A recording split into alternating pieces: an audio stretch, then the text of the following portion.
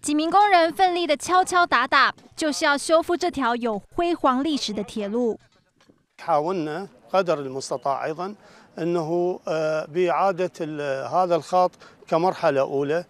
这条荒废的铁路曾经是摩苏尔当地着名的铁道，被视为是摩苏尔黄金时期的标志。几十年前曾是伊拉克文明的输送带，将乘客和货物运送到叙利亚和土耳其。 后来，随着2014年伊斯兰国引爆的战争席卷全国，铁路遭到严重的破坏。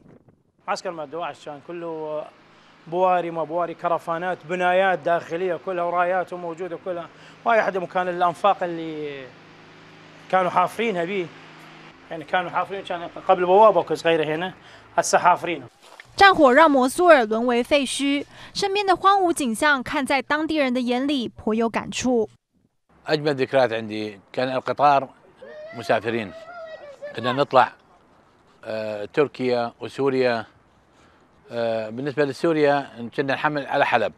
مسافرين 铁路经理表示，很开心这条铁路正在重新建设中，希望这条极具历史意义的铁路能重新运作起来，让战后的摩苏尔恢复生机。环宇新闻图文君综合报道。 请订阅、按赞、分享环宇新闻 YouTube 频道，并开启小铃铛，及时掌握全球时事与最新趋势。